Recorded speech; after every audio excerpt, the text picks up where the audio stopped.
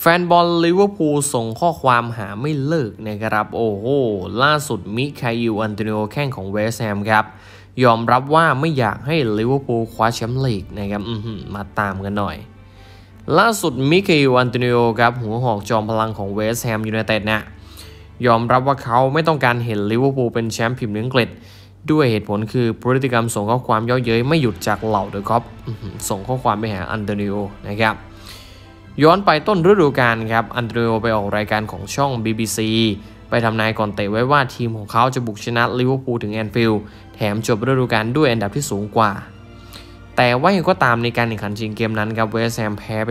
3-1 แถมหลังจากนั้นคู่แข่งอย่างลิเวอร์พูลตอนนี้เก็บแต้มขึ้นจ่าฝูงส่วนอันโตนิโอแล้วก็พรรคพวกของเขา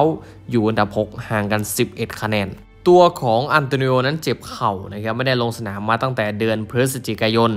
และหัวหอกจาเมกาวัย 33 ปีคนนี้ใช้ช่วงเวลาว่างจากการพักฟื้น ออกรายการเดิมก็คือ BBC มาอัปเดตความสัมพันธ์กับลิเวอร์พูลอันโตนิโอบอกว่า บอกจากใจเลยผมไม่ต้องการให้ลิเวอร์พูลเป็นแชมป์ลีก เพราะแฟนบอลของพวกเขายังส่งข้อความหาผมอยู่เรื่อยๆ ส่งข้อความไม่เลิกเอ่อความจริงพวกเขาควรแยกย้ายได้แล้วนะ ผมแค่ขอให้อาร์เซนอลหรือแมนซิตี้คว้าแชมป์ให้ได้ นั่นคือทุกอย่างที่ผมอยากจะพูด เวสแฮมจะได้โอกาสล้างตาเจอกับลิเวอร์พูลอีกทีที่ลอนดอนสเตเดียมช่วงปลายเดือนเมษายนนะครับ แต่อันโตนิโอไม่ยืนยันว่าเขาจะหายทันเขาบอกว่า ผมบอกได้แค่ว่าผมเคยใกล้ฟิตสมบูรณ์แบบเหลือแค่ 2 หลา แต่ตอนนี้ผมกลับอยู่ห่างออกไปอีก 10 หลา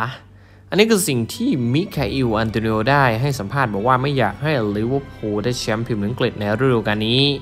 เพราะว่าแฟนบอลของลิเวอร์พูลส่งข้อความหาเขาไม่เลิกนะครับ